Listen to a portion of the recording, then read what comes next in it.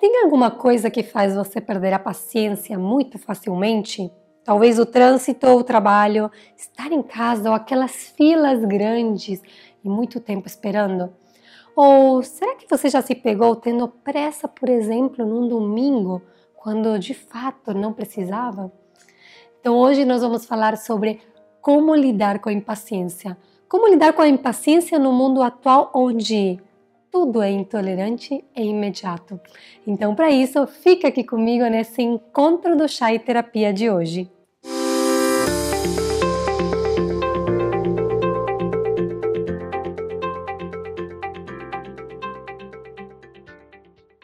A paciência pode ser definida como a capacidade de aceitar ou tolerar frustrações ou adversidades. Esperar uma hora no banco exige um pouco dessa capacidade, né? E está ligada também ao modo como você regula as emoções. Uma pessoa impaciente tende a ficar estressada, a ser pessimista e a reagir impulsivamente. Os estudos mostram que alguns dos fatores que influenciam nessa impaciência são a genética, principalmente vinculada à impulsividade, também traços de personalidade e, claro, é pouco provável que você tenha sido igualmente paciente em todas as situações da sua vida. Por quê? Porque a paciência está vinculada à situação, ao momento, ao ambiente no qual você se encontra. Pessoas impacientes tendem a ter mais probabilidade de sintomas depressivos, né?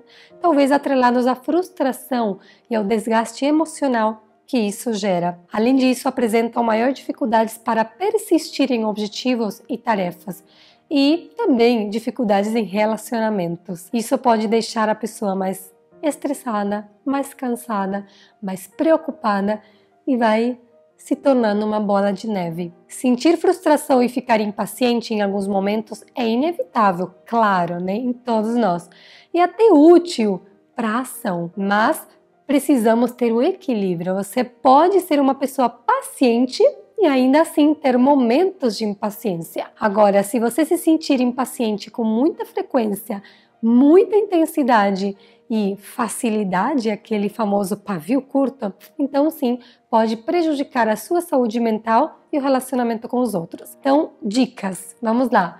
Identifique o que te deixa impaciente.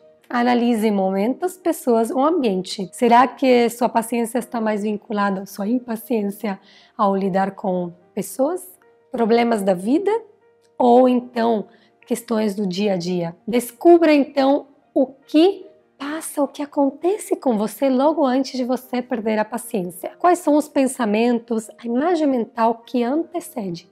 E também, claro, a interpretação dessa imagem mental. Terceiro, Confronte seus pensamentos. Seus pensamentos, sim, aquelas ideias que passam antes de perder a paciência, confronte com evidências e explicações alternativas, aquele diálogo socrático. E cuide da sua saúde. Um estilo de vida mais saudável vai te ajudar a ser mais paciente. Estudos mostram, por exemplo, que a privação de sono e uma alimentação inadequada estão associados à frustração, a cansaço.